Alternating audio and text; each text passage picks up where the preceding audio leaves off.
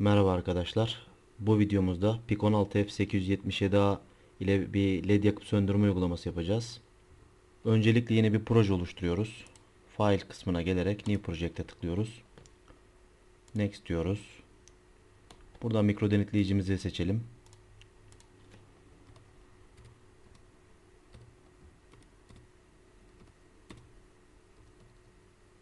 PIC 16F877A'yı tıklıyorum. Next diyorum. Next diyorum. Bir compiler seçmemi istiyor. Ben XC8 dilini kullanacağım. Next diyorum. Proje ismimizi verelim burada. Let Blink olsun.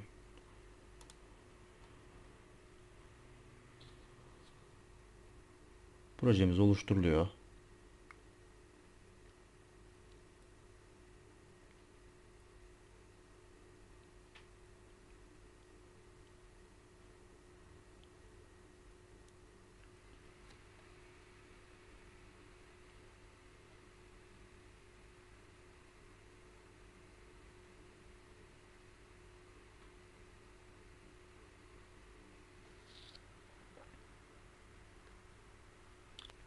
Evet arkadaşlar projemiz oluşturuldu. LED Blink klasörüne tıklıyorum. Source klasörüne geliyorum. Gördüğünüz gibi içi boş. Buraya e, programımı yazacağım bir kod parçacığı eklemem lazım. New diyerek sağ tıklayarak New diyerek main C'yi seçiyorum. Buna da bir isim vermemi istiyor. Da aynı ismi verelim. Finish diyorum.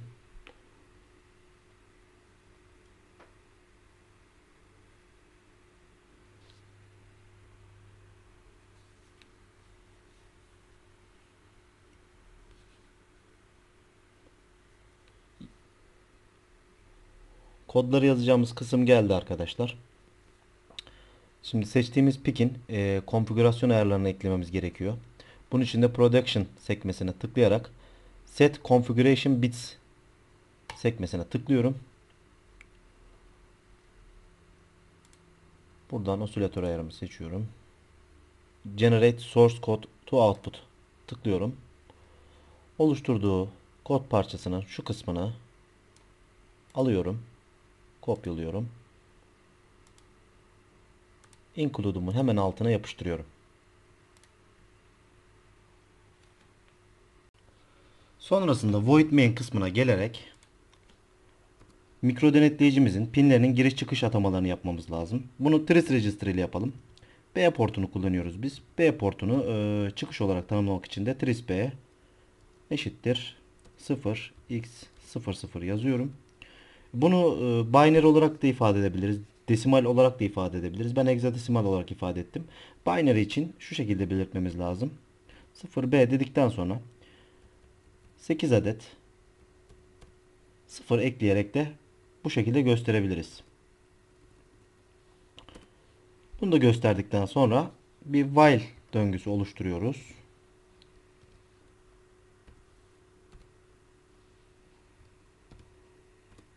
Oluşturduğumuz while döngüsü içerisinde işlemlerimiz süreklilik arz edecek biçimde çalışacaktır. Şimdi ledimizi e, B portunun 0. Pinine, pinine bağladığımızı varsayalım. Bunu RB0 olarak gösteriyoruz. Bu durumda RB0'a ilk ledimizi yakmak istediğimiz için 1 atıyoruz. Sonrasında söndürmek için de RB0'ımıza 0 atıyoruz. Tabi bu işlemler çok hızlı olacağı için e, aralarına bekleme süresi vermemiz lazım. XC8'deki e, bekleme fonksiyonu şu şekilde yazılıyor. Alt tire alt tire delay küçük harflerle delay alt tire ms dedikten sonra bir parantez açıp içerisine milisaniye cinsinden bekleyeceğimiz süre yazıyoruz. 1000 yani 1 saniye. Aynı ifadeyi Sönme durumum için de yazıyorum. Delay alt dire ms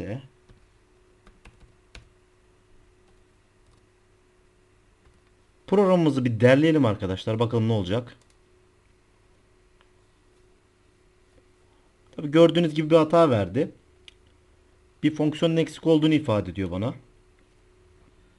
bakalım. Kapatalım. Şimdi bu bu delay e, ms fonksiyonlarının çalışabilmesi için e, işlemcimize kaç frekansta yani mikro denetleyicimize kaç frekansta çalışacağını tanımlamamız lazım. Bunu da include'un hemen üstüne gelerek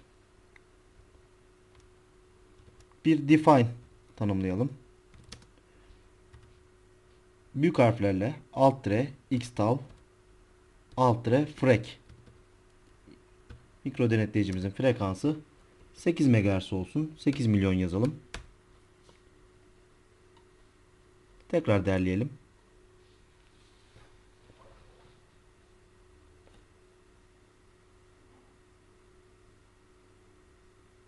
Evet. Derlendi. Şurayı kapatalım. Sonrasında programımızı bir e, simülasyon ortamında deneyelim arkadaşlar. Proteus programımızın ISIS ortamına gelerek e, bir mikro denetleyicimizi bulalım önce. Şöyle yazalım. 16 F877 A diyelim. Evet bulduk. Çift tıkladım. OK. Mikro denetleyicimi seçtim. Koydum. Ee, LED bağlayalım arkadaşlar. LED. Şuradan şu olsun. Bir tane direnç bağlayalım.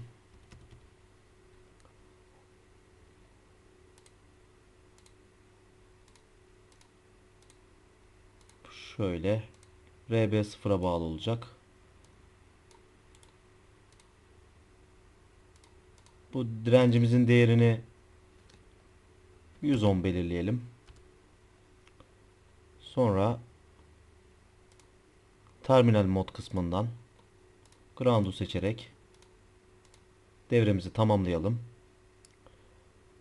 Diğer bağlantıları yapmaya gerek duymuyorum. Ee, sonra çift tıklayarak pikimize şuradan öncelikle kullandığımız frekansı yazıyoruz. Program file kısmına gelerek klasöre tıklıyoruz. Ben daha önce yükleme yaptığım için otomatik olarak geldi. Ee, bulamayanlar için göstereyim nasıl bulunacağını. Bilgisayar kısmına geldik. Yerel disk C'ye tıklıyorum. Kullanıcılar. Kullanıcı isminize tıklıyorsunuz. Buradan Empelab X Project klasörünü buluyorsunuz. Oluşturduğumuz projenin dosyası. Ee, dist klasörüne giriyoruz. Default Production Buradan hex dosyamızı, dosyamızı alıyoruz.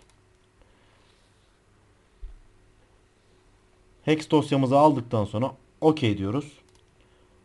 Sonra Run'a tıklıyoruz. Şimdi gördüğümüz gibi ledimiz yanıp sönüyor ama bir şey fark edin. Ee, diğer pinlerin e, durumları random. Yani kimisinde enerji var, kimisinde enerji yok. Bunu e, kapatmak için de Program kısmımıza gelerek şimdi durduralım önce. Şimdi şu trisi tanımladığımız yerde tam çıkış tanımladık ama portların ilk başlangıç durumlarını da belirleyebiliriz. Yani bunu da e, port register ile yapıyorum. Port B başlangıçta bütün pinlerim temizlensin. Sıfır olsun. Tekrardan derliyorum.